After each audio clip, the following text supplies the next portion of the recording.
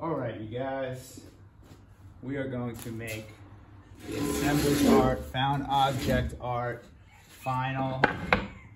And what I told you was we are going to get a bunch of random things, assemble them together. GSTS, that's what we used to call my class. Glue stuff to stuff. And I randomly have a bunch of stuff that I've found and used. Here's a box of random stuff that I'm not sure what to do with. Let's see. Open it up. And I think I'm, I was actually looking at this box. You look inside here. And I was like, what do I do with all this stuff? And so I just put it all in a box. But now I'll just take it all out. I'll make art with it. I got that. I also have my son is really into taking things apart. And so he has a bunch of little toys and things. That might look like. So I have something like this too. I can use for assemblage art.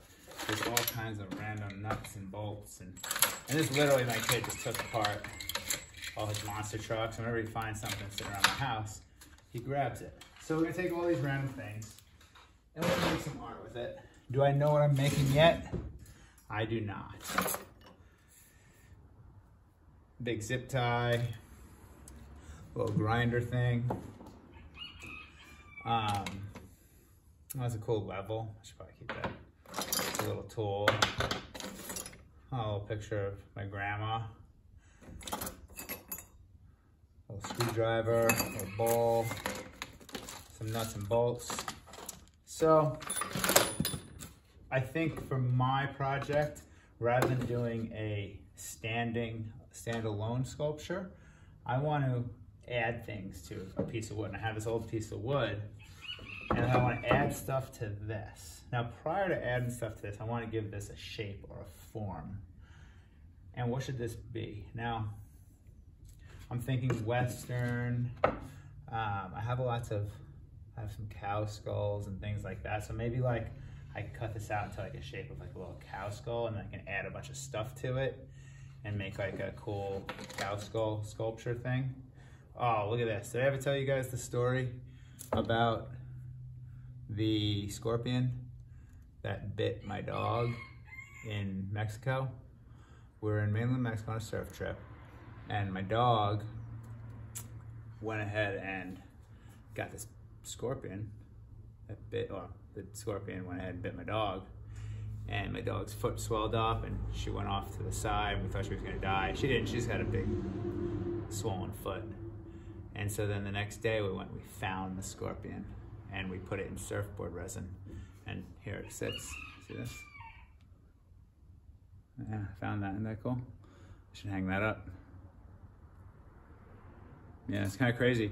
When you put the scorpion in the resin, it starts to like sh shoot the venom. Pretty creepy, but it came out pretty neat. So there's my little scorpion medallion. Let's start with this and turning this into a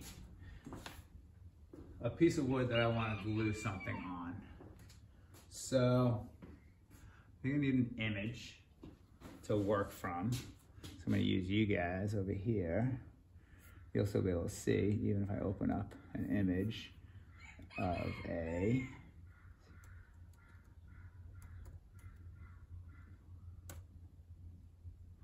There we go. I think I'll do some kind of a cow skull thing. So I'm just looking at an image of a cow skull. I won't do very big horns. I'll just do, I mean, I don't need to look at an image. I have a couple in my house, but it's a basic image. I can only find this pink pen right now, but that's fine because I'm gonna cover this thing up fully. So I'm gonna say something down the middle, maybe something like this. And then we can come. So with this assemblage art, slash found object sculpture, you can add stuff to it, right? And that's what I'm gonna end up doing.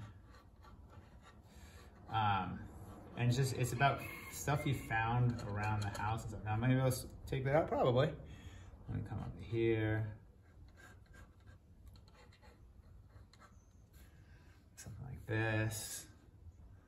The nice thing about like skulls and things that are imperfect. They just, you can just kind of sketch them really quick and easily. Now I'm not gonna have much room for horns, but guess what? Maybe I can find something to make horns, you know?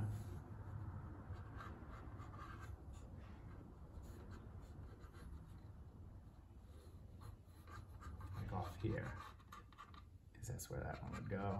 This one would go here.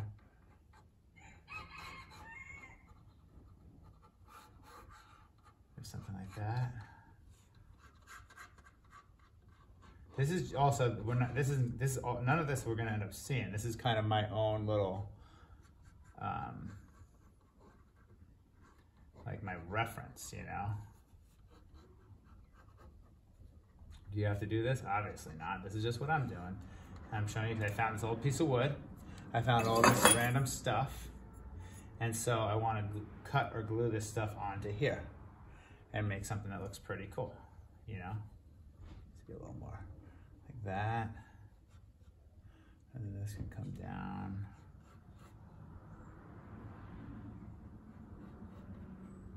And this will just give me reference on where things are gonna come down to.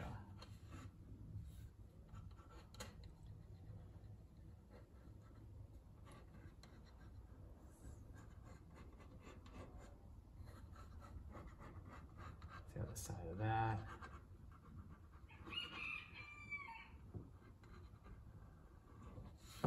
There, that'd be kind of like a cow skull type thing, you know. And I'll put some, some make. Oh, I have some horns. Maybe I'll add some horns to it after I put a bunch of stuff on here. But before I put a bunch of stuff on here, I feel like I need to cut this out. Let's get my safety glasses and a jigsaw. I'll teach you guys how to use a jigsaw. Not that I expect you guys to cut anything out. You could do this entire thing with um, cardboard and scissors. You know, I just happen to have this. And I also feel like, you know, teaching you guys proper use of some power tools, even if you don't have the ability, the time to use them right now, because you don't have them, you at least get an idea of how it works. And someday in the future, you uh, maybe you can use them. So this here is a jigsaw. You use a jigsaw when you are wanting to cut squiggly lines. Oh, Loren's coming in. Say hi to my wife, Loren. Hi, babe. I'm ready now. Oh, shit, they're gonna go do some food shopping and run some errands, so I'm gonna say goodbye to them. And then I'll tell you more about jigsaws. Hi, babe. Love you. Sweater looks good on you. Thank you, I like that. I Is do your mom coming over here? We'll see. Oh, it's like you don't actually know? Uh, no, probably. I don't like that. So, this is a jigsaw. It cuts squiggly, ziggly lines. Now, if you need to cut a straight line, you would use probably a buzz saw, a circular saw. I like calling them buzz saws. But I don't want you messing with those. I don't mess with those in class because that's this one over here. Hold on one second. All right, see that? This one, these are pretty dangerous saws. You have to be super careful. I just don't mess with them. I'll let you guys, you can do these when you get older by yourself. Because this, it could take your finger off real fast. But the jigsaw, squiggly wiggly, see this? The cool thing about this is you can work around edges and move around. And if someone, if you were to be, you know, not pay attention and cut your finger, oh, it'll mess you up. But it's not gonna be, this one you have no chance of, this is so fast. But this one, the jigsaw, it'll cut your skin. You'll probably need stitches, it'll be yucky, but you're not gonna lose your finger that quickly. You know what I mean? So I remember this because my father, one of the first power tools he gave me when I was a kid was a jigsaw. And now I realize that's why. And so then I used to cut out, make little skateboards and things like that. Anyway, here's a jigsaw. It, this is what happens. It just kind of, uh, it just goes up and down. And because it's, it's a, a narrow blade, you're able to move around and make certain shapes. Um, So I need safety glasses, always. Safety first. And now this, the equivalent to this for you guys, you got a little jigsaw lesson. You're not using a jigsaw unless you have a parent there with you teaching you how and saying it's okay. But you could do something like this in cardboard or a box. Now this is just my project for the assemblage art found object sculpture. Yours can be anything and we can talk about that at any time. Let someone in. Cool. Um, so let's jigsaw this piece out here. Move this out of the way. That guy jigged. La la la. Got my safety glasses on. You could use clamps for safety if you need to. You probably should. Me get a couple clamps ready. And I'm just doing a rough, basic rough cut. Because again, this doesn't have to be perfect. And I'm gonna fill it up with a bunch of cool things. Let's put this clamp right here. And this clamp right here. And I'll start, probably just cut this line real quick. You guys ready?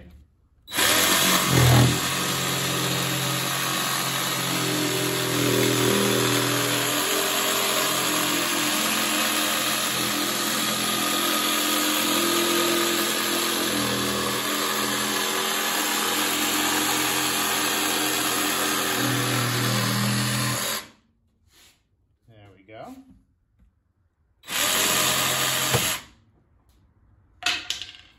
One piece down.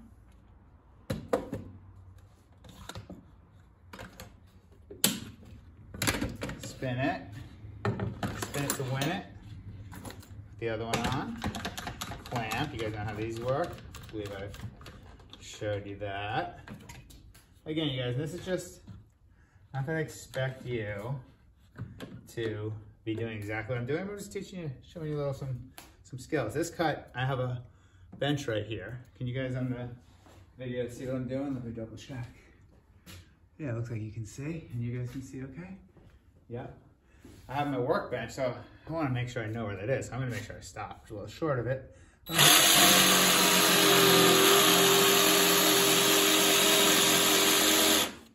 I stop there because my bench is there. I'm going to come over here.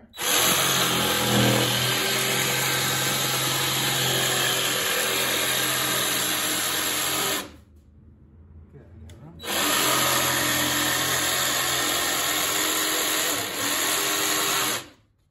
Cool.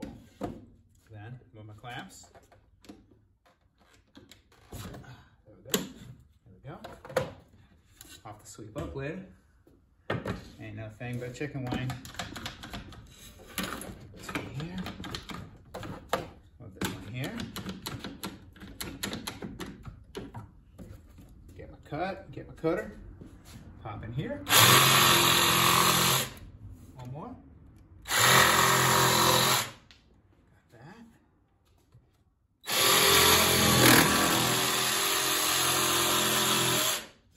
Pull that piece out. Almost just gotta hit this. Now remember, hashtag no edit, hashtag no filter. So I gotta keep moving, keep exciting for you guys. And now this. And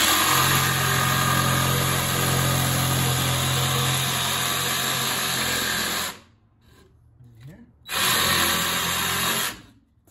Maybe a little bit here. Cool. There it is.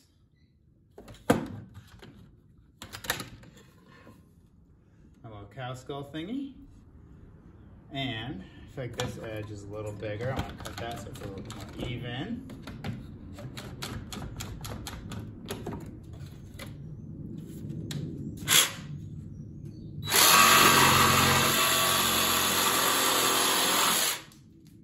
Yeah, that looks a little better.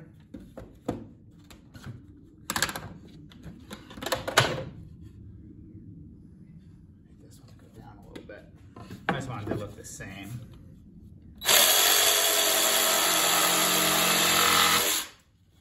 There we go.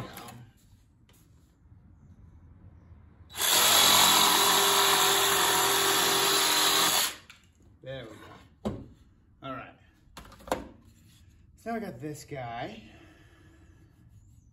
I need to cut that and that out too.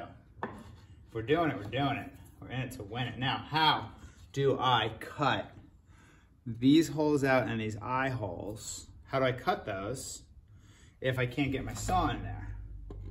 Anyone have any ideas how to do that? You guys? You guys? Anyone? Bueller? show you what I do. Step over here. Grab a drill. Put a battery in it. Grab a drill bit.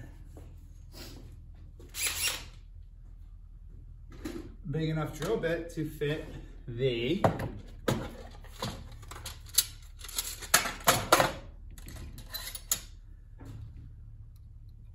to fit the, use a different one even, um, the blade of the jigsaw in.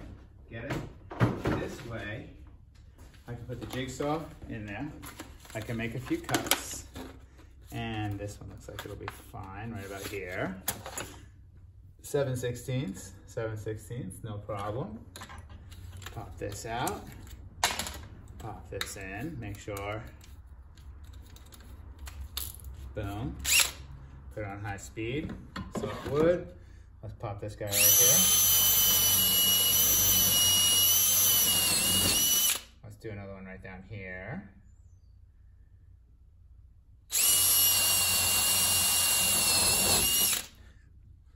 Let's do one here. And one here. Now for the eyes. Now that just looks like holes, right? No biggie, we'll take care of it. Let's do one at the top. Excuse me. Put that on drill. I had a clutch on. Now, in hindsight, I would have used my more powerful drill for this. This is kind of weak, but it's all good. I'll get it to. And one more.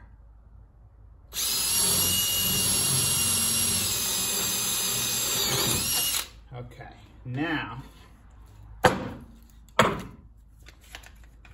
that, that. Now watch this. We can use clamps again. Why not? We got them. We can use them. Hold that in place. Hold this in place. Then I can fit this right through here. Actually, I'm not gonna use this clamp in my way. And it's gonna your way of seeing what I'm doing. And I'm gonna move you this way a little bit so everyone can see better. And now I can fit this right in here.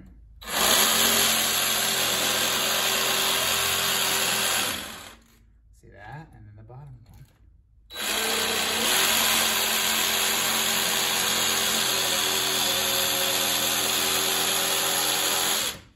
And then I can come over here. There's one.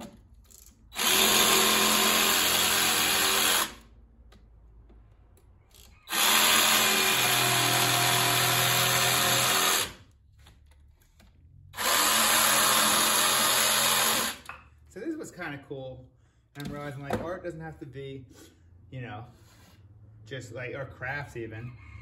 You don't just be Martha Stewart and like making sock puppets and like, that's cool stuff. I do that all the time. But you could also get good at using your tools and making art with those. Like, here's those big ice sculptors that use chainsaws. That's really cool. And right now I'm sculpting a little bit with a jigsaw. There we go. There's the bottom pieces, see that? And now I'm gonna cut out some, the eye holes just a little bit. I'm gonna have to change this up a little bit. That one. And I did multiple holes so that I can like restart my angles. Okay. And this would come maybe here.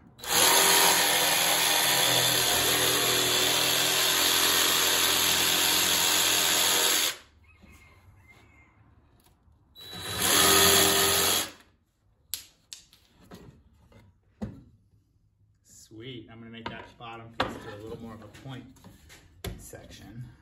Gotta clamp this down.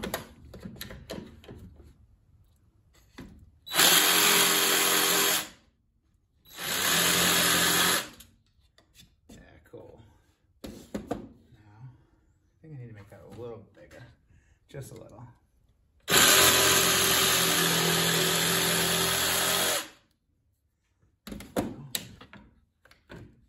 Now this one. And then we'll almost be done. Oh, the clamp's in the way. Let's do this clamp. Come on, clamp. There we go. Move this one. Pop this. Ready?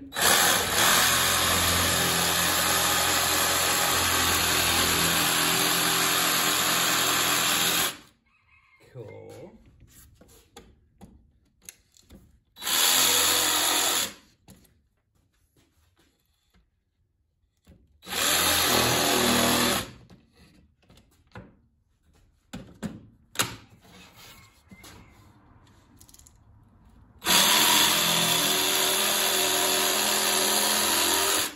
There we go. Sweet. Oh, sick. Now, to make these a little more even, this one needs to bubble out a little bit more. A little more bubble on this one. Give me a second, you guys.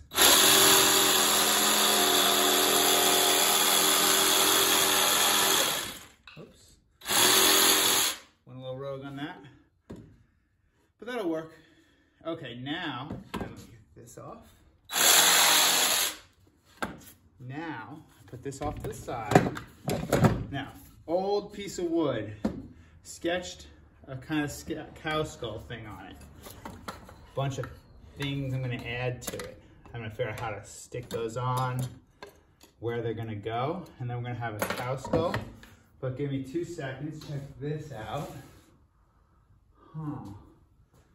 Maybe I could go look in my archives and see if I can find something I can either make horns or what if what if I could find something that would be so epic. I think maybe I can. There's none right here. I thought I saw some old horns laying around. Maybe something like oh hold on one second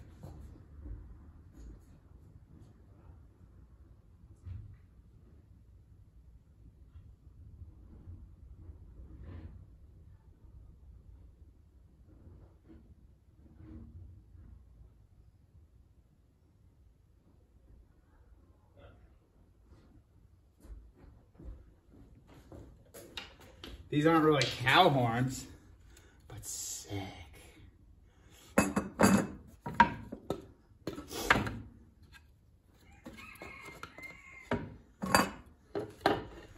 Boom. We're getting there. Nice. So now take the time. I'm going to pause this one, clean up, figure out what I'm gonna do, and I'll catch you guys in a second. Period one, you hang out. Period, watching a video. Peace.